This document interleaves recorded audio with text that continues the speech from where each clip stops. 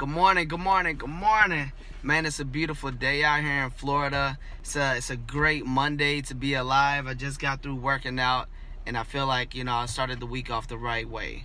Uh, my name is Jarron Webster. This is my morning minute and I want to talk to you about decisions and how we don't always have to know that we're making the right decision. All right? We just have to make a decision that's the most important aspect of it because when you're setting between this or this and you're just contemplating the whole time that's just wasting time. The quicker you make a decision the quicker you're able to get the results. So everything doesn't have to be perfect. We're meant to make mistakes. We're going to make mistakes and that's all right. So if you make a decision and it's a mistake then you learn from it. But if it was the right decision then you're good to go. So make a decision. I've decided that I need to go shave. Let's have a great week.